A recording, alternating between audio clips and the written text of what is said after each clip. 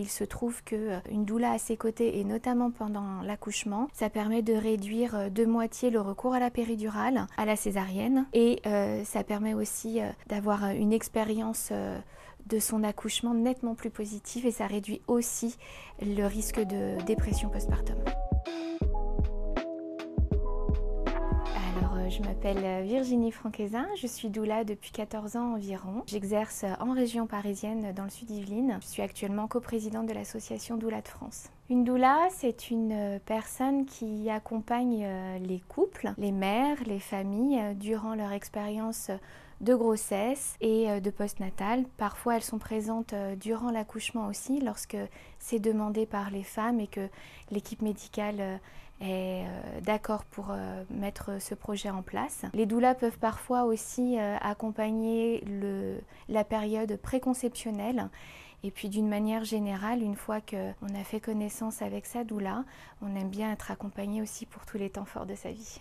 Une doula, elle est là pour être à vos côtés, pour euh, vous soutenir et puis pour euh, vous aider à traverser euh, cette période de transformation, notamment lorsque vous devenez mère pour la première fois. Elle peut avoir un rôle d'information auprès de vous lorsque vous vous posez des questions. C'est une présence et essentiellement qui est là pour accueillir toutes vos émotions, vos doutes, sans jamais ni vous conseiller ni vous indiquer à votre place la, la direction la meilleure pour vous. Alors lorsque la doula est présente pendant l'accouchement, oui, son, rôle va être de vous soutenir, de vous valoriser dans, l'effort que vous êtes en train de traverser, de vous rappeler euh, tout ce que votre sage-femme vous aura appris durant vos préparations à, la naissance, de faire en sorte que le papa trouve aussi euh, son, sa place. En tout cas, euh, on est là pour, valoriser aussi le rôle du ou de la partenaire auprès de, sa femme pour faire en sorte qu'elle entre plus facilement dans sa bulle. La doula peut être là présente effectivement après l'accouchement sur toute la période du postpartum,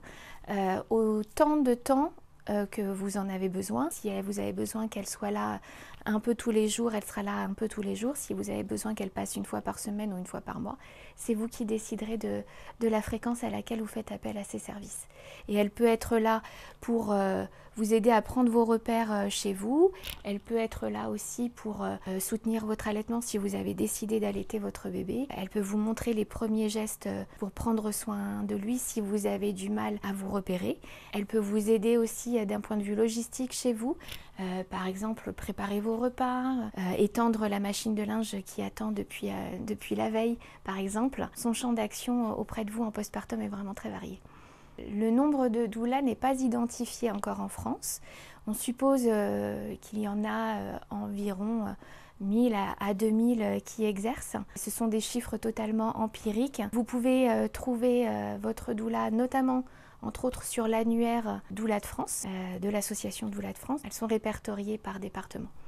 Les tarifs sont très variables puisque c'est un métier qui n'est pas réglementé et qui s'exerce euh, en libéral. Chaque doula va pratiquer les tarifs qui, euh, lui conviennent et en fonction de, sa situation. Néanmoins, on peut trouver une, fourchette large entre 50 et 100 euros de la rencontre. Aujourd'hui, étant donné que le métier n'est pas réglementé, euh, tout un chacun peut devenir doula. Mais on conseille quand même fortement de se, euh, de se former. Vous pouvez trouver à différents centres de formation, notamment ceux qui sont répertoriés euh, sur le site de l'association Doula de France. Vous avez par exemple l'Institut de formation Doula de France ou le centre Galantis. Vous avez également le centre Envolée et Matrescence et puis aussi tout un tas d'autres centres qui ne sont pas reconnus par l'association Doula de France mais qui existent malgré tout. Vous avez des formations en présentiel ou des formations en ligne.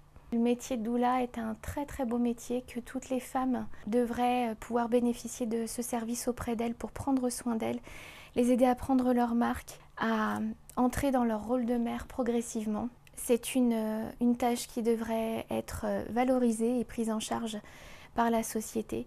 Je rêve du jour où, euh, les pouvoirs publics s'empareront du métier euh, de doula euh, et pourront nous aider à le faire reconnaître.